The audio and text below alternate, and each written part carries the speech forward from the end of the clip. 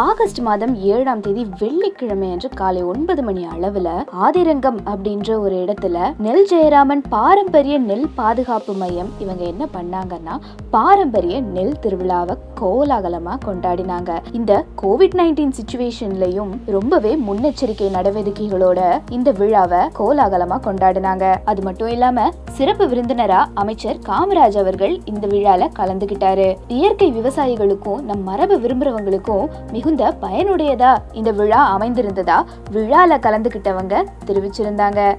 நம்மாழ்வாரையா வலியுறுத்திய விதைகளே பேராயுதங்கள். அதன் அடிப்படையில மறைந்த நெல் ஜெயராமன் ஐயா நாட்டு விதைகளை பாதுகாக்கணும் நாட்டு பாரம்பரியத்தை பாதுகாக்க வேண்டும்.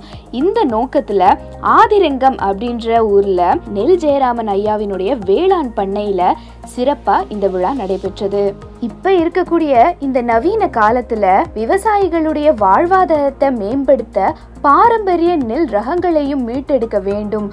நம்மாழ்வாரோடு ஏற்பட்ட தொடர்பால் நெல் ஜெயராமன் பாரம்பரிய நெல் ரகங்களை மீட்டெடுக்கும் முயற்சியில ஈடுபட்டு நூத்தி எழுபத்தி நாலு நெல் ரகங்களை மீட்டெடுத்திருக்கிறாங்க. நெல் ஜெயராமன் ஐயாவினுடைய முயற்சி தற்போது அங்கீகாரம் கிடைச்சு வருது. விவசாயிகளோட வாழ்வாதாரத்தை மேம்படுத்தவும் பாரம்பரிய நெல் ரகங்களை மீட்டெடுக்கவும் நம்மாழ்வார் ஐயா மற்றும் நெல் ஜெயராமன் ஐயா அரும்பாடுபட்டிருக்காங்கன்னு நமக்கு தெரியும். இது மட்டும் இல்லாம விழாவுல பல வகை நெற்கதிர்களையும் கண்காட்சிக்காக வச்சிருந்தாங்க. நம்மாழ்வார் ஐயா மற்றும் நெல் ஜெயராமன் ஐயாவினுடைய உருவ படங்களுக்கு மாலை அணிவித்து மரியாதை செலுத்தினாங்க.